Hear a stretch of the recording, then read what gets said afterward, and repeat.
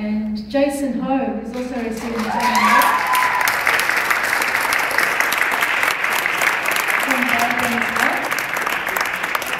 And from Yarra Yarra, Yip Ki Leong.